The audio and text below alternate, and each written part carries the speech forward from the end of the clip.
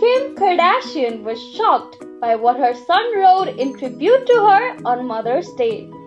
The reality star showed snaps of a card made by the youngster, circled each of the mistakes, and wrote cheeky remarks next to them.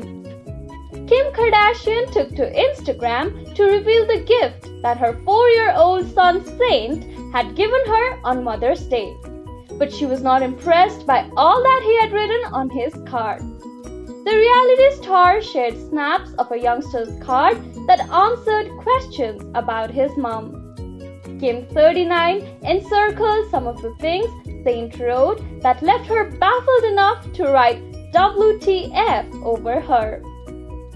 At the beginning of the gift, Saint wrote that his mother was 11 years old. He went on to say that his mom likes to leave him alone, and a baffled Kim circled his remark and wrote WTF Saint who Kim shares with her husband Kanye West, has also written that Babas is the best thing she cooks, and a confused Kim commented, Bottles? Kim jokingly contested the assertion of Saint that watching TV is the best thing the pair does to relax, writing, I don't do it, but he does it. But the youngster said one thing that left Kim feeling elated. Saint said that his mom is special because she snuggles me, inducing Kim to say proudly, Best thing ever. He's got this right for sure. Kim and Kanye have three additional children.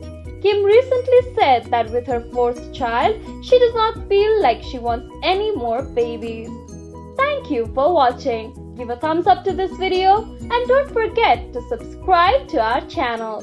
Also hit that bell icon to never miss an update.